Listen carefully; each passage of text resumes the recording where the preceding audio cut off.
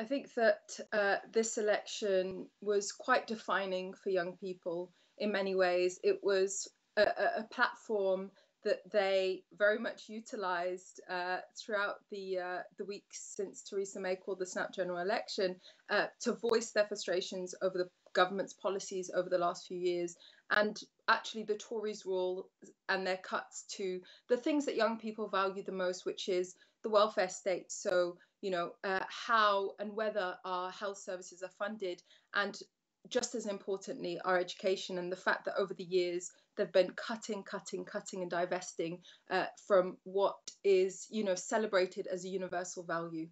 I think that young people were quite frustrated and angry since Brexit. Many uh, voted Remain uh, and were frustrated over the result. Uh, we know around 80%, uh, if not more, of young people were unhappy with the result. And so they obviously wanted to take action through this election uh, to make the impact of their votes count.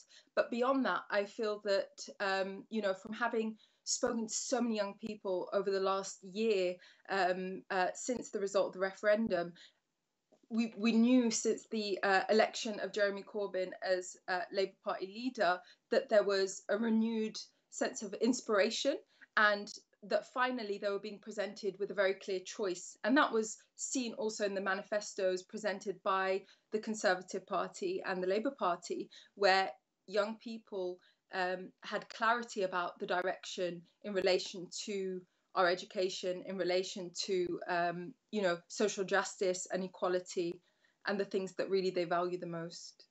In many ways uh, i think that i share yeah i share a sense of hope that everybody has um, since the, the the the result of the general election. I think that this is going to be a defining historical moment in british politics certainly um, and in particular for the most dis- disenfranchised in our society. Um, and we've seen, you know, the um, we've seen a refusal to be divided.